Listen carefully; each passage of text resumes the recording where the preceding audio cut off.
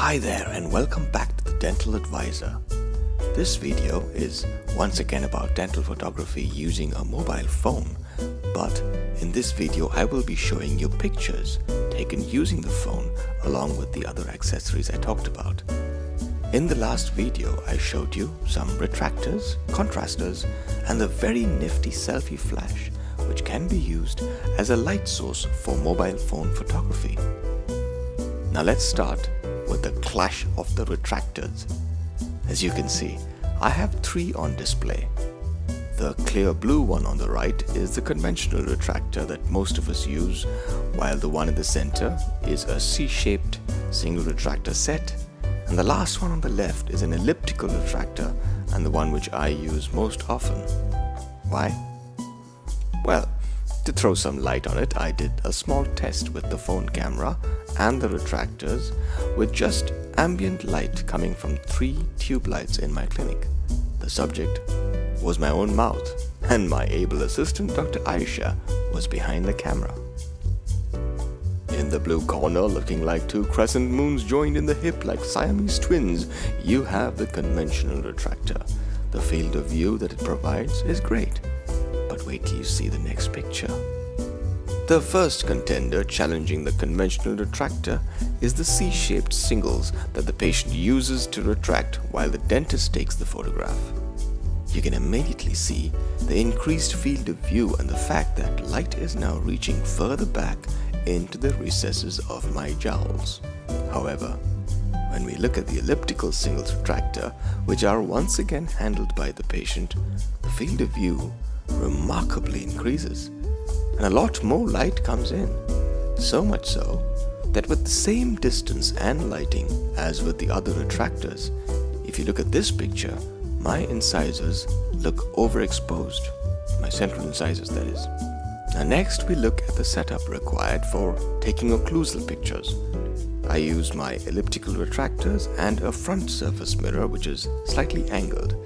The angle helps in reaching further back while not compromising on the ergonomics. The patient holds the retractor and pulls on either side while the dentist places the mirror on the lower arch giving you a mirror view of the upper arch. Now with the other free hand, he or she can take the photograph with the mobile phone. Once cropped, the previous picture looks like this.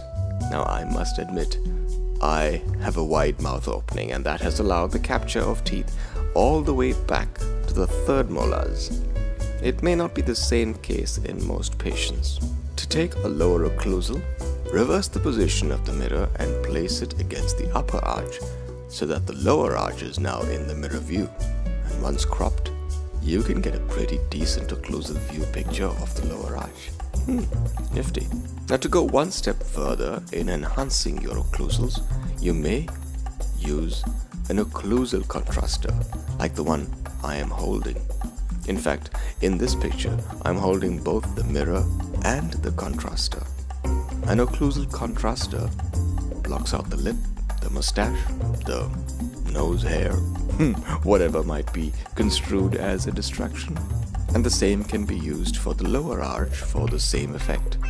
The contraster also acts as a retractor, keeping the cheeks away.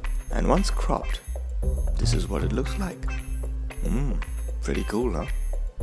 For side profile pictures, you need the retractors, a different contraster as you can see from the picture, and this is called a tongue contraster, but can also be used as a cheek contraster too. In this picture, I'm holding both retractors with my hands, while Dr. Ayisha has taken a profile photograph with the mobile and a selfie ring flash attached. Info on the selfie ring flash can be had from the earlier video on mobile photography. Close cropped, you can see that the flash adds some unwanted light bouncing off one of the retractors.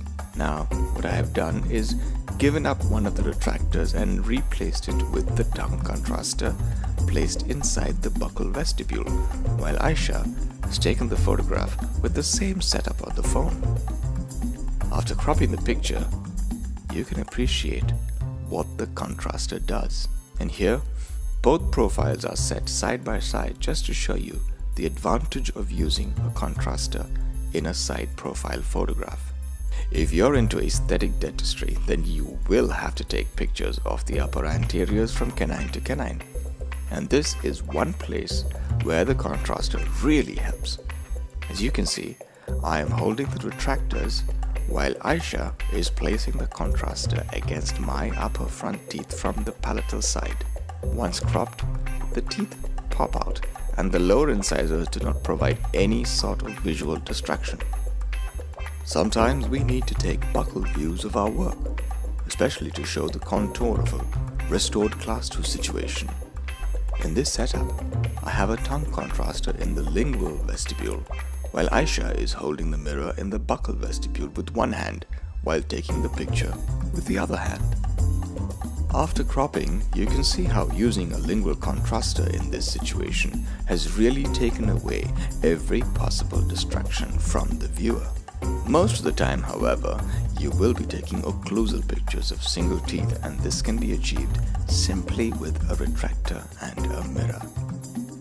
Use the digital zoom on the mobile but do not go beyond 2x and you can get pretty decent pictures of single teeth. You gotta be kidding me. No, no, no, I'm dubbing. I'm not shooting the video right now. Please, what is going on with the universe? So there you have it. All you have to do is get on the bandwagon and start snapping and creating your portfolio of your dental work. Now, dental photography was never any easier, so you have no excuse. Get off that shelfie and start making selfies. Thanks for dropping by for another little contribution from the Dental Advisor. If you have any queries, you can reach out to me on the email provided. You can give me suggestions, you can ask me doubts, and probably ideas for future videos. Oh, until we meet again, goodbye.